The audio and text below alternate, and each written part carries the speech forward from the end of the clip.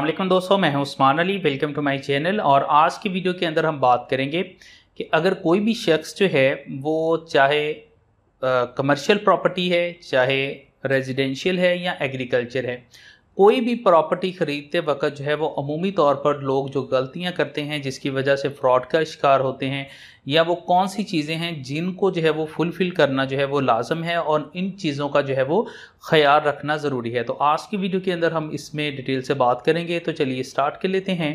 Start में इसके लिए मैं आपको बताता चलूँ कि अगर आपने अभी तक हमारे यूट्यूब चैनल को सब्सक्राइब नहीं किया है तो वीडियो के नीचे एक रेड कलर का सब्सक्राइब का बटन आ रहा होगा। उसके ऊपर क्लिक करके सब्सक्राइब कर लीजिएगा और साथ बेल आइकन को भी दबा दीजिएगा ताकि जब भी हमारी कोई लेटेस्ट वीडियो आए तो उसके नोटिफिकेशन आप तक पहुँचते रहें। देखिए सबसे ज़्यादा जो है वो प्रॉपर्टी के अंदर जो है वो बहुत ज़्यादा जो है वो आजकल फ्रॉड्स हो रहे हैं और उसके बाद जो है कुछ सिर्फ़ माइनर सी कुछ चीज़ें होती हैं, जिनको ख़रीदते वक्त जो है वो बायर जो होता है वो इग्नोर कर देता है और उन्हीं की वजह से जो फिर सालों साल जो है वो मुकदमेबाजी का जो है वो सामना करना पड़ता है। कानून जो है वो हमेशा ये एक चीज़ का बात कहता है कि जिस तरह से हम मार्केट के अंदर जो है वो किताब वगैरह कोई ख़रीदने जाते हैं तो अमूमी तौर पर आपने देखा होगा कि जैसे ही आप उस किताब को खोलते हैं तो उसके ऊपर एक आप जो है वो एक लफ्ज़ जो है वो इबारत जो है वो लिखी होती है कि मुश्तरी होशियारबाज, यानी कि ख़रीदने वाला जो है वो होशियार रहे। और कानून भी यही कहता है कि जो भी बंदा कोई चीज़ ख़रीद रहा है वही होशियार है उसी ने तमाम चीज़ों को देखना है और देखने के बाद कोई प्रॉपर्टी जो है वो परचेज़ करनी है। अमूमी तौर पर बहुत सारी जो है वो ख़रीदते वक्त गलतियाँ होती हैं और देखने में बाज़ारी तौर पर वो इतनी ज़्यादा बड़ी नहीं होती हैं। और लोग जो है वो अतमाद की बेस के ऊपर जो है वो आ, प्रॉपर्टीज़ ख़रीदते हैं और बाद में जो है पता चलता है कि हमारे साथ जो है वो एक फ़्रॉड हो चुका है, धोखा हो चुका है और उसके बाद फिर मुकदमेबाजी की तरफ़ जाते हैं और फिर सालों साल जो है वो मुकदमेबाजी और लड़ाई झगड़ों की तरफ़ जाते हैं। ताहम अगर कुछ चंद चीज़ों का अगर ख्याल रख लिया जाए तो मैं समझता हूँ कि कोसी भी के साथ भी जो है वो प्रॉपर्टी के लेन देन के अंदर जो है वो फ्रॉड नहीं हो सकता है। इसमें कुछ चीज़ें हैं, कुछ पॉइंट्स हैं मैंने जिसको जो है वो पॉइंट आउट किया है। सबसे पहले जो है, जब भी आप प्रॉपर्टी खरीदें, उसमें एक चीज़ को जो है, वो कंफर्म कर लें कि वो बंदा जो है, वो प्रॉपर्टी का ऑनर है। एक चीज़ आप क्लियर कर लें कि बहुत सारे लोग जो हैं, वो इस तरह से प्रॉपर्टी परचेज़ करते हैं कि एक बंदा है, उसने अभी प्रॉपर्टी का किसी दूसरे के साथ एग्रीमेंट किया है, अभी ऑनर नहीं है, उसने ख़रीदने के लिए जो है, वो इकरारनामा किया है और वो उसी इकरारनामे की बेस के ऊपर जो है, वो आगे प्रॉपर्टी सेल कर रहा होता है। और लोग क्या करते हैं कि उसी देखने के इस बंदे ने जो है वो इकरारनामा किसी दूसरे बंदे के साथ किया हुआ है और कल को ये हमें जो है वो प्रॉपर्टी इसी के नाम पे ऊपर होनी है तो सो हम भी इसी से जो है वो परचेज़ कर लेते हैं। ये बहुत बड़ी गलती है, क्योंकि जो है वो कानून कहता है कि जो एग्रीमेंट है agreement does not create any legal right कि जो को, कोई भी मुआदा है वो किसी किस्म का वो कानूनी जो है वो राइट पैदा नहीं करता है ऑनरशिप के हवाले से। अगर कोई बंदा है मैंने अगर किसी बंदे से प्रॉपर्टी परचेज़ की है और अभी मैंने सिर्फ़ उसके साथ एक एग्रीमेंट किया है और मैंने उसको कुछ रकम दे दी है और रकम देने के बाद जो है उसे कहा कि मैं फर्दर बकिया रकम जो है तुम्हें आज से तीन माह बाद जो है वो पे करके प्रॉपर्टी अपने नाम के ऊपर जो है वो ट्रांसफ़र कर लूँगा। और अभी मेरे नाम के ऊपर प्रॉपर्टी ट्रांसफ़र नहीं हुई है और मैं आगे प्रॉपर्टी को सेल करता हूँ।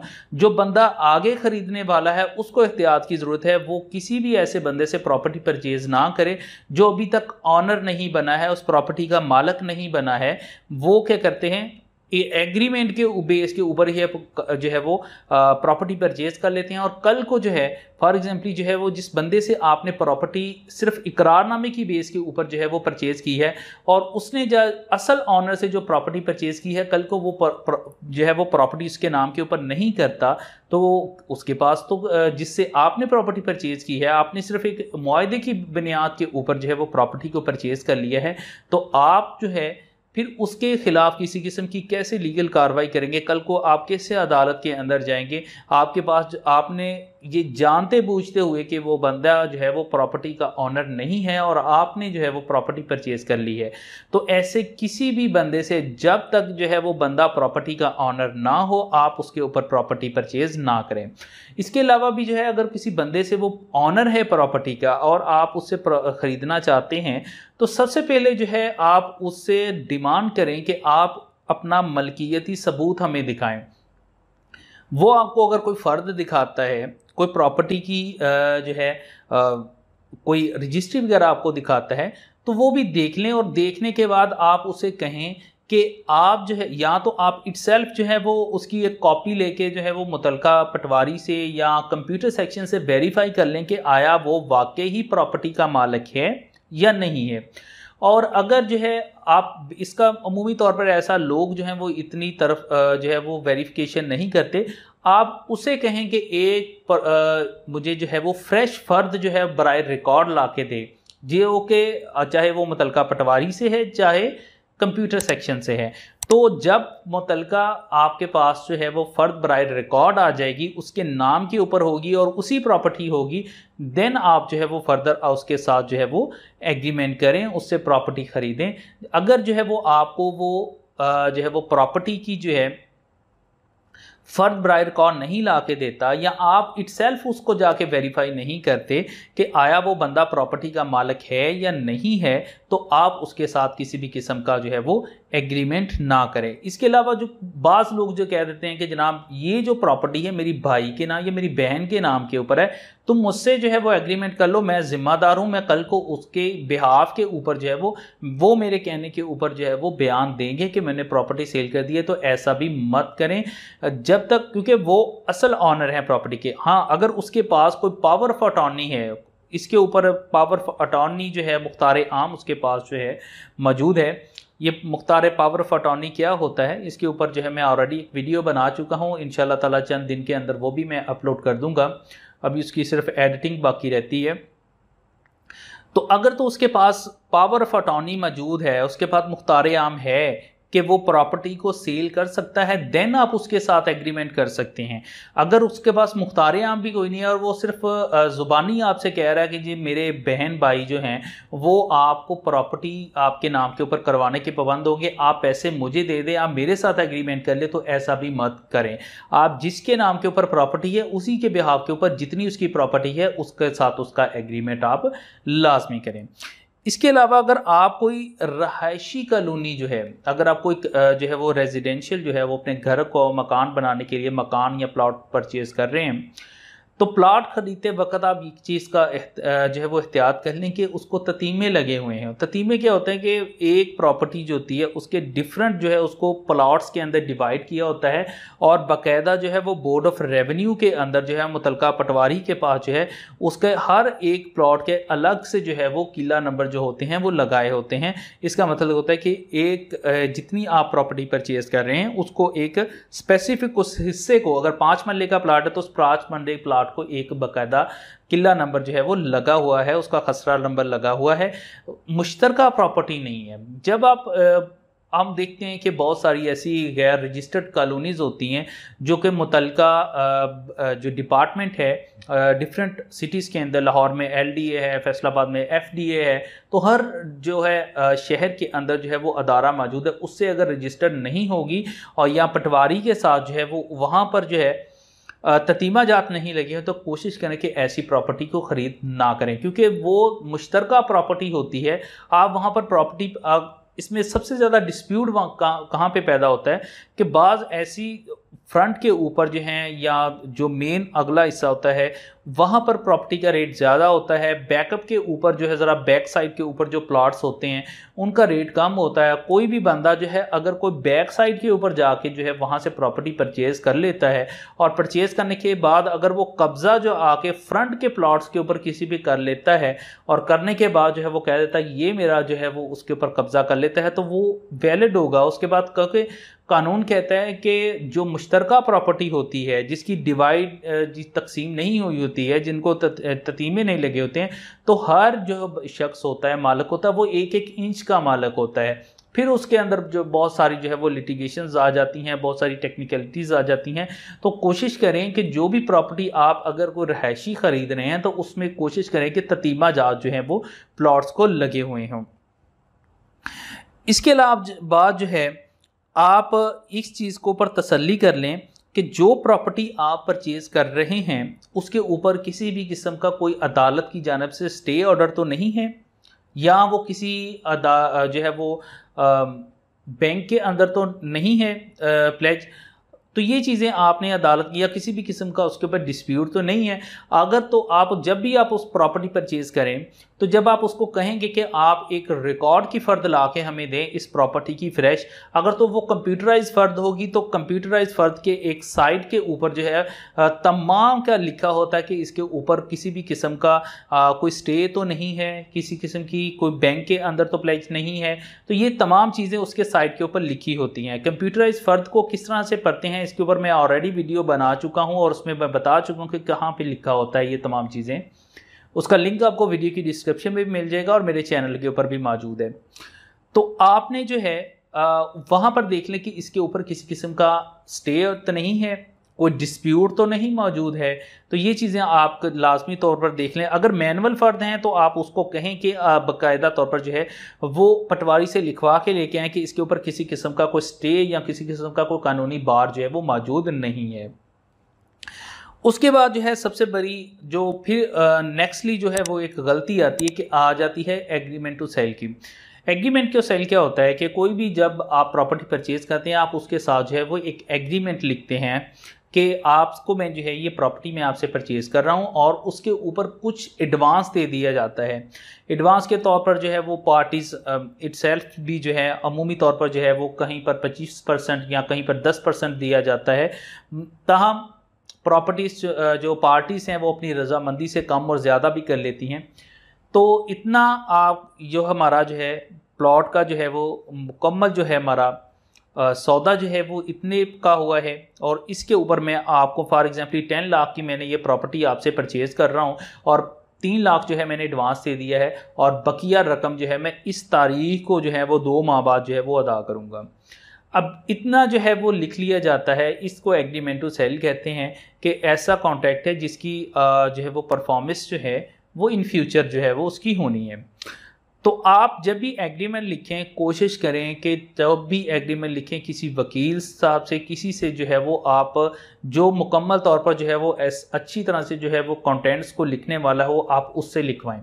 अमूमी तौर पर लोग गलती क्या करते हैं कि तमाम शराय, तमाम चीज़ें जो है वो पता नहीं होती हैं, किसी भी आम बंदे से जो है वो लिखवा लेते हैं और अमूमी तौर पर प्रॉपर्टी डीलर जो हैं, वो कह देते हैं, हम ही खुद लिख देते हैं। और बहुत सारी उसके अंदर जो है फिर गलतियाँ कर जाते हैं, जो कल को जाकर जब कोई डिस्प्यूट बनता है तो जब अदालतों के अंदर जाते हैं और फिर वो एक एक जो गलती होती है, वो सामने आती है। तो जब भी आप जो है वो एग्रीमेंट लिखवाएँ तो किसी वकील साहब से लिखवाएँ। उसके बाद सबसे बड़ी जो निगलिजेंस होती है, सबसे बड़ी जो गलती होती है, वो क्या करते हैं कि प्रॉपर वैल्यू का स्टाम नहीं लगाते। तीस लाख की जगह खरीद लेते हैं, उस दो हज़ार रुपया स्टाम के ऊपर नहीं लगाते और कोशिश करते हैं कि पचास रुपये वाले या सौ रुपये वाले के हम स्टाम के ऊपर ही एग्रीमेंट लिखवाएँ। और ये सबसे बड़ी गलती होती है कि जब फिर कल को कोई मसला बनता है और जब अदालत के अंदर मैटर जाता है, फिर जाकर जो है वो मसाइल का जो है वो सामना करना पड़ता है। अगर दो सौ रुपये वाले के स्टाम के ऊपर जो है वो आप एक एग्रीमेंट लिखवा लेते हैं, सारे अंगूठे भी लगवा लेते हैं, निशान रात जो है वो उसके दस्तखत भी करवा लेते हैं कल को अगर वो इनहराफ कर जाता है कि ये जो साइन है, ये अंगूठे हैं, ये मेरे ही नहीं है, मैंने इसके साथ कोई एग्रीमेंट ही नहीं किया है तो जब फिर अदालत के अंदर जाता है, फिर वो उसको वेरिफिकेशन के लिए फॉरेंसिक के लिए जाते हैं, और इसमें फिर काफ़ी जो है वो ज़्यादा टाइम लग जाता है तो इसलिए जो है वो बेहतर है कि जब भी आप एग्रीमेंट टू सेल करें प्रॉपर वैल्यू का स्टाम लगाएँ। इसका प्रॉपर वैल्यू क्या है? बारह सौ रुपया प्लस तमाम जितनी आपने, जितनी वैल्यू की प्रॉपर्टी खरीदी है, उसके ऊपर zero point zero one percent यानी ये तकरीबन जो है एक लाख के ऊपर सौ रुपया बनता है। अब एक लाख के ऊपर सौ रुपया कोई इतना ज़्यादा नहीं है। फॉर एग्ज़ाम्पल अगर आपने प्रॉपर्टी आठ लाख की परचेज़ की है तो बारह सौ रुपया मस्ट है। उसके साथ आठ लाख की प्रॉपर्टी खरीदी है तो पर लाख के ऊपर जो है वो सौ रुपया। ये तकरीबन दो हज़ार रुपये का स्टाम लगना है। जब आप इतने पैसे जो है अपनी प्रॉपर्टी खरीदने के ऊपर लगा रहे हैं तो उसको प्रोटेक्ट करने के लिए आप कानूनी, आप एक एग्रीमेंट क्यों लिख रहे हैं? एग्रीमेंट लिखने का मकसद ये है कि अगर कॉल को ये बंदा इनहराफ कर जाता है या किसी भी किस्म का कोई डिस्प्यूट करता है तो मैं अदालत में जाकर रेमेडी हासिल कर सकूँ कि जनाब मेरे साथ इसने एग्रीमेंट किया, ये मेरे पैसे लिए हैं, तमाम चीज़ें कंप्लीट हैं। तो जब आपने जो मेन चीज़ है जिसको जो आपको प्रोटेक्ट कर रही है, उसी को आप वीक करते चले जा रहे हैं, उसी को आपने जो है उसके अंदर निगलीजेंस करते चले जा रहे हैं। तो ये सबसे बड़ा जो है वो एक ब्लेंडर है और आपकी सबसे बड़ी गलती है। तो जब भी आप कॉन्ट्रैक्ट लिखें और एग्रीमेंट टू सेल लिखें, वो प्रॉपर वैल्यू का लगाएँ। उसके ऊपर जितने स्टाम्प की मालियत लगती है, वो स्टाम्प उतनी मालियत का लगाएँ। उसके बाद कोशिश करें कि उसको रजिस्टर्ड करवाएँ। रजिस्टर कर करवाने से क्या होगा कि उसकी मुकम्मल तस्वीर तस्वीर बनती हैं वो सब रजिस्ट्रार के सामने उसने बयान दिए होते हैं और उसकी बाकायदा एक कॉपी बन के जो है वो रिकॉर्ड का सेव का एक रिकॉर्ड का हिस्सा बनती है। कल को अगर कोई वो बंदा मुकर जाता है वो इनहराफ कर जाता है उस आ, से कि जनाब मेरा तो मैंने तो ये किया ही नहीं था मेरे दस्तखत ही नहीं थे मैंने कुछ किया ही नहीं था तो फौरी तौर पर जो है क्योंकि वो रजिस्टर्ड होता है उसका तमाम का तमाम जो है वो गवर्नमेंट रिकॉर्ड जो बन चुका होता है, वो रिकॉर्ड अदालत में पेश हो जाता है कि जनाब ये देखें, ये बिल्कुल सब रजिस्ट्रार के सामने पेश हुआ है, ये इसने तस्वीर हैं, ये इसके सिग्नेचर हैं, हर चीज़ जो है जिसने खुद की हुई है। अब वो भी नहीं अगर आप कर सकते, अमूमी तौर पर ये तो तकरीबन शायद ही कोई लोग है जो जाके इसको एग्रीमेंट को रजिस्टर करवाते हैं। अगर वो भी नहीं कर सकते तो नोटरी पब्लिक के पास जो है वो लाजमी तौर पर रजिस्टर करवाएँ। अगर आप वैसे जो है वो सब रजिस्ट्रार के पास जो है वोटर रेवेन्यू में जो है उसको रजिस्टर करवाते हैं तो मैक्सिमम दो से तीन हज़ार रुपये इसके ऊपर एक्सपेंसेस आते हैं। लेकिन लोग वो भी नहीं करते। जो मैं कहता हूँ कि स्टाम्प के ऊपर नहीं वैल्यू के ऊपर प्रॉपर लगाते हैं, वो तीस लाख की जगह खरीद लेते हैं, लेकिन स्टाम्प कहते हैं कि हमने सौ, दो सौ रुपये वाला ही लगाना है। ये भी गलती कहते हैं। अगर रजिस्टर नहीं करवा सकते तो कम अज़ कम नोटरी पब्लिक के पास अंदराज लाजमी करवाएँ।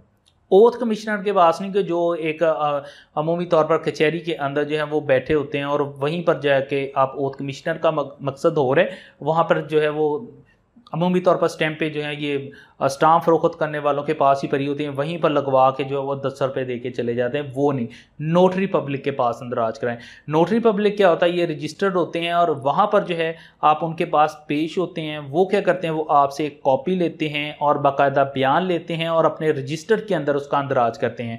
कल को कहीं पर भी जाकर जो है वो अगर कोई बंदा जो है वो उसे इनहराफ करता है कि जनाब मैंने तो कांटेक्ट इसके साथ किया ही नहीं था। मैंने ये साइन ही नहीं है मेरे। तो क्योंकि उसका नोटरी पब्लिक के पास अंदराज मौजूद होता है, तब फौरी तौर पर अदालत जो है वो नोटरी पब्लिक को तलब कर लेती है।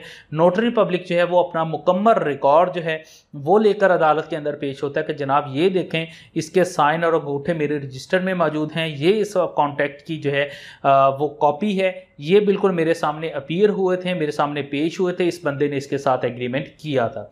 तो जब भी आप जो है एग्रीमेंट लिखाएँ, वो प्रॉपर वैल्यू का लिखवाएँ और उसके बाद उसको रजिस्टर्ड करवाएँ तो वो नहीं करा सकते तो कम अज़ कम जो है वो नोटरी पब्लिक के पास उसका अंदराज लाजमी करवाएँ।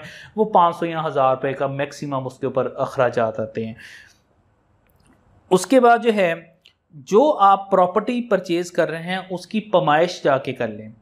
कि जो प्रॉपर्टी अगर आप को प्लॉट परचेज़ कर रहे हैं, पाँच मरले का परचेज़ कर ले हैं तो जाके उसकी परमाइश कर लें कि जो प्लॉट आपको दिया जा रहा है, वो वाकई पाँच मरले है भी या नहीं। बेशक उसकी प्रॉपर्टी जो है आपको वो रजिस्ट्री जो है, वो आपको जो डॉक्यूमेंट अपनी मलकियती सबूत जो है, वो प्रोवाइड कर रहा है, वो पाँच मरले ही है। लेकिन आप खुद जाके उसकी पमाइश करके भी देख लें कि क्या आया पाँच मरले ही है। सम टाइम ऐसा होता है कि जहाँ पर कुछ कॉलोनीज़ वगैरह जो है, वो होती हैं बनाई होती हैं तो जब लोग एक साइड से मकान बनाना शुरू करते हैं तो थोड़ा थोड़ा जो है, वो सम टाइम जो होता है कि वो ज़्यादा जो है, अपनी अगर पाँच मल्ले का प्लॉट है तो वो कुछ थोड़ा सा अपनी तरफ़ ले आते हैं और जब आ, वो एक तरतीब के साथ बनते चले जाते हैं तो आखिर के ऊपर जाके जो प्लॉट बचता है वो अगर मैयरमेंट आप उसकी करें तो पता चलता है कि एक या दो सरसाई का फ़र्क पर चल पड़ चुका होता है। तो आप लाजमी तौर पर उसकी मेयरमेंट कर लें कि जो प्लॉट आपको दिया जा रहा है वो आपके वाकई ही जितनी आप उस जगह खरीद रहे हैं उतना ही है। तो इसकी मेयरमेंट जो है वो लाजमी कर लें। उसके बाद बात आ जाती है सेल डीड की। यानी कि जब आपकी आपने अगर एग्रीमेंट कर लिया है कि आपने कहा है कि तीन माह के बाद जो है वो बकिया रकम दे के जो है रजिस्ट्री अपने नाम के ऊपर करवा करवा लूँगा। अब रजिस्ट्री का जब मसला आता है सेल डीड जिसको आम ज़ुबान में हम रजिस्ट्री बोलते हैं यहाँ पे आके एक सबसे बड़ी गलती करते हैं लोग, और ये गलती करते हैं प्रॉपर्टी डीलर्स के कहने पे। मेजॉरिटी में मेजॉरिटी में प्रॉपर्टी डीलर के ऊपर कहने कहते हैं। कुछ लोग होते हैं जिन्होंने मकान या कोई प्लॉट या चीज़ परचेज करते हैं, वो परचेज करने के बाद उन्होंने अपने इस्तेमाल में नहीं लानी होती, बल्कि वो क्या करते होते हैं कि उसको ख़रीदने के बाद कुछ दिनों के बाद जो है उसको सेल कर देना होता है। कुछ छोटे इन्वेस्टर होते हैं प्रॉपर्टी डीलर उनको क्या मशवरा देते हैं कि जनाब आप इस तरह से करें कि आप अगर रजिस्ट्री करवाएँगे, अगर सेल लीड बनवाएँगे तो उसके ऊपर तो ख़र्चा बहुत ज़्यादा आएगा। तो आप इस तरह करें कि आप उस बंदे से पावर ऑफ़ अटॉर्नी ले लें, मुख्तार आम ले लें और मुख्तार आम लेने के बाद जो है आप उसको सेल कर सकते हैं। आप जब चाहें आगे जो है वो उसको सेल कर दिया जाएगा। ये सबसे बड़ी गलती करते हैं लोग पावर ऑफ़ अटॉर्नी लेके। अब फॉर एग्ज़ाम्पल रजिस्ट्री के ऊपर जो है वो अखराज पचास हज़ार रुपये आते हैं, पावर ऑफ़ अटॉर्नी के ऊपर बारह हज़ार रुपये आ रहे होते हैं। खैर, अब तो जो है वो रजिस्ट्री के ऊपर भी गवर्नमेंट ने जो है वो बहुत ज़्यादा कमी कर दी है, जहाँ पर पहले आठ परसेंट के ऊपर रजिस्ट्री होती थी, अब सिर्फ़ चार परसेंट के ऊपर रह गई है। दो परसेंट जो है वो स्टाम्प ड्यूटी भी कम कर दी है और सीवीटी कैपिटल वैल्यू टैक्स जो है, वो भी जो है वो ख़त्म कर दिया गया है। अब तो तकरीबन जो है वो बहुत कम रेट हो गए हैं रजिस्ट्री करवाने के भी सेल डीड के। पहले जो है वो बहुत ज़्यादा डिफरेंस था रजिस्ट्री करवाने और पावर ऑफ़ अटॉर्नी का। लोग क्या करते हैं वो पावर ऑफ़ अटॉर्नी करवा लेते हैं। पावर ऑफ़ अटॉर्नी करवाने का सबसे ज़्यादा नुकसान क्या होता है? मुख्तार आम लेने का नुकसान क्या होता है? उसके आप मालक नहीं बनते फिर प्रॉपर्टी के। आपने सारा पैसा भी दे दिया होता है मालक को, लेकिन आप प्रॉपर्टी के मालक नहीं बनते। उसमें सिर्फ़ आपके पास ये इख्तियार होता है कि आप प्रॉपर्टी किसी बंदे दूसरे को सेल कर सकते हैं। अब फॉर एग्जाम्पली आपने उससे पावर ऑफ़ अटॉर्नी ले लिया, आपने उसको सारे पैसे भी दे दिए, ठीक है? वो बंदा उस पावर ऑफ़ अटॉर्नी को कैंसिल करवा सकता है, क्योंकि मालिक तो वही है वो उसने सिर्फ़ आपको अपना राइट दिया है कि आप मेरी प्रॉपर्टी फरोख्त कर सकते हैं। आप उसके ऑनर नहीं बने, आप उसके मालिक नहीं बने, चाहे आपने सारे पैसे अदा कर दिए। तो ये गलती मत कीजिएगा। वो अपनी प्रॉपर्टी को कल को वो मुख्तारनामा कैंसिल भी करवा सकता है। इसके अलावा फॉर एग्जाम्पली जो है, उसकी डेथ हो जाती है बंदे की। जैसे उसकी डेथ हो गई, वो पावर ऑफ़ अटॉर्नी जो है, वो ऑटोमेटिकली कैंसिल हो जाएगा, वो ख़त्म हो जाएगा, मालक फिर वही रहेगा। और उसके बाद जो वो प्रॉपर्टी जो है, जिसके आप सारे पैसे अदा कर चुके हैं, वो प्रॉपर्टी जो होगी, उसके जो वारसान हैं, उनके अंदर तकसीम हो जाएगी। और उसके बाद वो वारसान आपको करवा के देते हैं, रजिस्ट्री आपके नाम के ऊपर या नहीं करवा के देते हैं, वो अलग बात है। आप जो है, ये पावर ऑफ़ अटॉर्नी वाला जो मसला है, जो कि मुख्तार आम ले लेते हैं, वो कतई तौर पर जो है, वो आप ना लें। उसकी प्रॉपरली तौर पर जो है वो आप अपने सेल डीड जो होती हैं, वो रजिस्ट्री जो होती हैं, वो अपने नाम के ऊपर करवाएँ। उससे आपको मलकियती हकूक़ मिलते हैं, उससे आप मालिक बन सकते हैं। जब भी आपने फिर रजिस्ट्री करवानी है सेल डीड अपने नाम के ऊपर करवानी है तो उसको कहा, कहते हैं कि आप फ़र्द लेके आए हैं। फ़र्द बरए बै। रजिस्ट्री को हम जो है वो लीगली लैंग्वेज हम बै कहते हैं। बरए बै आप फ़र्द लेके आए अगर आप पटवारी से लेके आ रहे हैं तो साथ एक वो परफार्मा भी देते हैं, उसके ऊपर वो तफसीलात लिखी होती हैं प्रॉपर्टी से मुतल के तमीज़ शुदा है या खाली है और कहाँ पे मौजूद है तो ये चीज़ें मौजूद होती हैं तो वो भी जो है वो देना लाजमी होती है। तो उसको कहें कि आप जो है, वो एक फ़र्द लेके हैं बराए बैगी। उसके बाद जो है, उसकी आप किसी भी वकील से जो है, वो रजिस्ट्री लिखवाएँ किसी भी दूसरे आम बंदे से आप मत लिखवाएँ। बहुत सारी जो है वो उसके अंदर जो है वो निगलीजिस जो है वो कर जाते हैं और जिसका जो है वो आपको कल को नुकसान उठाना पड़ता है। किसी भी वकील से जो है वो आप उसकी रजिस्ट्री लिखवाएँ और लिखने के बाद तमाम का तमाम प्रोसीजर जो होता है वो वकला साहबान ही बाद में करते हैं। उसके बाद रजिस्ट्री लिखने के बाद वो आपको बुलवा लेते हैं उसके बाद आपकी तस्वीर बनती हैं सिग्नेचर होते हैं बायोमेट्रिक वेरिफिकेशन होती है उसके बाद सब रजिस्ट्रार के सामने पेश होते हैं जहाँ पर बयान दिए जाते हैं कि प्रॉपर्टी सेल कर दी है आपसे लिया जाता है फ़रोख्त ख़रीदारी का और कब्ज़े से मुतल इसके अलावा जो है अगर बाज़ का सब रजिस्ट्रार मौजूद नहीं होते हैं या आ, कोई जो बेचने वाला है, वो माजूर होता है या बीमार होता है, वो नहीं आ सकता। अदारे में तो उसमें लोकल कमीशन मुकर किया जाता है, वो जाके बयान को रिकॉर्ड करता है और करने के बाद जो है वो आपके नाम के ऊपर प्रॉपर्टी जो है वो रजिस्ट्री हो जाती है, उसके बाद फर्दर जो है वो प्रोसीजिंग जो है, वो होने के बाद। उसके बाद जो है अमूमी तौर पर तमाम वकला साहिबान ही ये काम करके देते हैं कि उसका मुतल महकमे में बोर्ड ऑफ़ रेवन्यू के पास बर इंतकाल जो है वो इसकी तीन कॉपीज़ बनती हैं, रजिस्ट्री की। एक ओरिजिनल होती है, एक रिकॉर्ड का हिस्सा बन जाती है जो कि बाद में मुतलका ब्रांच में जमा हो जाती है, जबकि इसकी एक रजिस्टर की जो कॉपी होती है, वो मुतलका पटवारी के पास जाती है या अगर कंप्यूटर रिकॉर्ड है तो कंप्यूटर सेक्शन में जाती है और वहाँ पर जाने के बाद जो है वो आपने अपनी का एक इंतकाल नंबर होता है, इंतकाल अपने नाम के ऊपर लिखवाना होता है।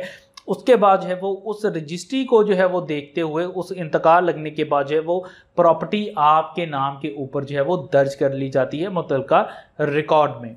तो ये इंतकाल करवाना लाजमी है और इंतहाई अहम है। ये भी आप जो है वो अपनी प्रॉपर्टी रजिस्ट्री जब आपको मिल जाती है तो एक माह के बाद जो है जाके अपनी फ़र्द बर रिकॉर्ड लाजमी जो है वो हासिल करें कि प्रॉपर्टी आपके नाम के ऊपर ट्रांसफ़र होगी है और जो है वो आपके नाम के ऊपर मुंतकिल हो चुकी है। तो ये कुछ चीज़ें थी, इनको जो है वो लाजमी तौर पर जो है जब भी आप प्रॉपर्टी ख़रीदते हैं, चाहे वो कमर्शियल है, चाहे वो रहायशी है चाहे वो एग्रीकल्चर है तो इन चीज़ों को लाजमी तौर पर देखा करें कि ये तमाम चीज़ें जो है वो कंप्लीट हो चुकी हैं। और अमूमी तौर पर ये जो गलतियाँ करते हैं छोटी, ख़ास तौर पर एग्रीमेंट लिखते हुए प्रॉपर वैल्यू का स्टाम न लगाना या रजिस्ट्री करवाते हुए कुछ पैसे बचाने की नीयत से पावर ऑफ़ अटॉर्नी ले लेना तो ये सबसे बड़ी गलतियाँ हैं, जो कि ख़ास तौर पर जो है वो अमूमी तौर पर जो है लोग जो है वो आ, कुछ प्रॉपर्टी डीलर्स के ऊपर कहने के ऊपर जो है वो करते हैं और या कुछ अपनी कंजूसी की वजह से कर लेते हैं।